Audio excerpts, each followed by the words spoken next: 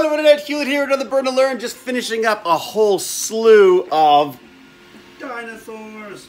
or as I like to say, a flock of dinosaurs. Uh, Bratlet doing some competitive Overwatch behind me. And uh, I just wanted to check on those before I came and talked to you about a Burn Alert. A Burn Alert is my bit to stay alive and fit long enough to raise my amazing son and to enjoy the twilight years with my brilliant, beautiful wife, Jane. I hate exercise. It is boring. So I like to um, learn something. And then I like to share what I've learned with you in the sweatiest way possible. It's a little low today. I feel like I'm in a little tiny box. There you go. Is that better?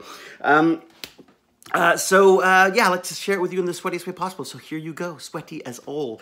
Um, Sunday, it's a Sunday. Uh, don't usually exercise on Sunday, but you know what? It was like my odd day, and I thought, why not?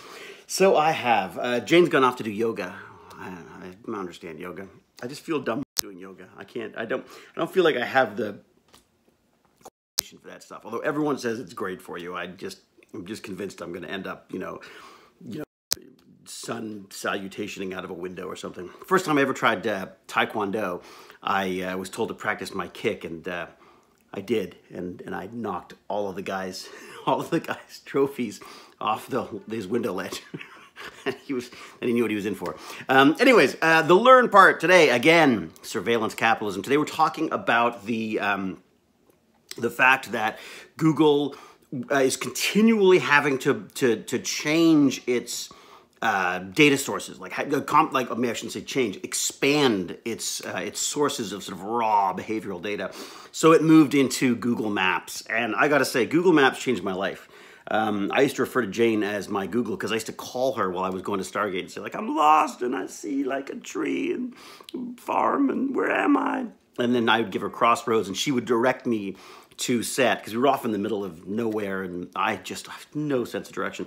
When GPS first arrived, um, it changed everything. I mean, it just took away this level of, uh, uh, well, took off a, a, a, level of concern about about my concern about auditions and about about filming, which was always just how do I how do I get there on time, and um, and then once it began to track all of the the traffic, and I could literally get a uh, an estimate on the time it would take to get there. It was just, it was like a weight off, like for a guy who suffers so much from anxiety, um, it was just a whole thing taken away. The next one is, and again, these are all things that she's terrified that Google can do, is, is um, uh, facial recognition. I mean, if I could have something at a party that told me who this person was and how I'm supposed to know them, uh, I, again, I think I'd go out more. Um, and, you know, also all of these things that she's seeing in a very negative light, I, I I see a positive side as well too. And again, it sounds like a lot of it has been a bit shady, and they've had to sort of go around uh, legislation and uh, you know democratic democratic freedoms and stuff in order to do it. Um,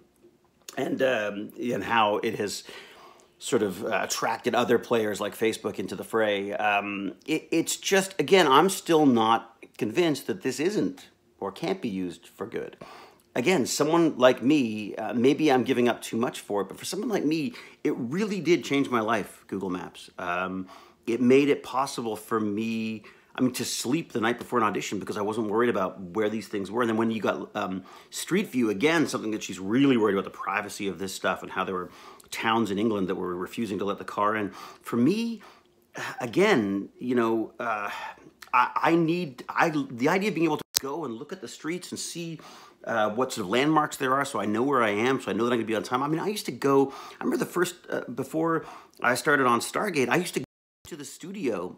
I used to do test rides to the studio, so I knew exactly how to get there. Uh, I was so paranoid about being on time. And then once you've got Google telling you, oh yeah, traffic ahead, this kind of stuff, and I think there's still a tendency for people to go like, oh, I know better, I know different routes and stuff. You don't. Google has the full view of this stuff, or Apple, or you know whoever else. You Waze, which is I think is being bought by Google.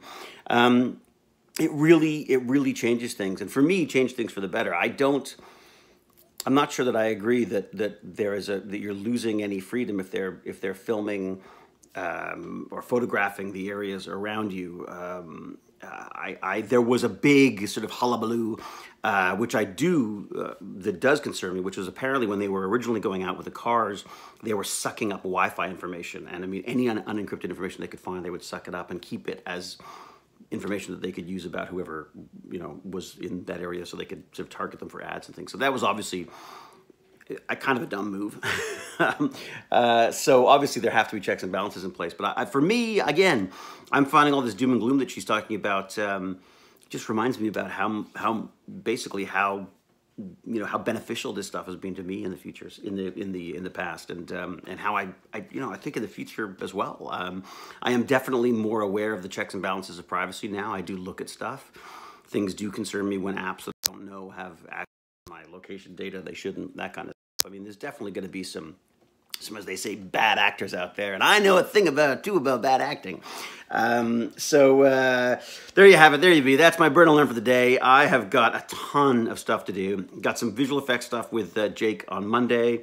Uh, must talk to Professor E at Easy Robot because we were supposed to do a little podcasty thing this week and I didn't. Um, and then this afternoon, I'm really hoping to, hop on the uh, hop on the uh, the old interwebs with um, with Country 3D and uh, and wish him all the best on his first year of podcasting. a lovely guy and a great bunch of great community there. I, I just I really really enjoy chatting with them. So I'm hoping to uh, to bounce onto that if I can. And um, so until we geek again, sweaty or not, cheerio. Have a great weekend, guys. See you next week.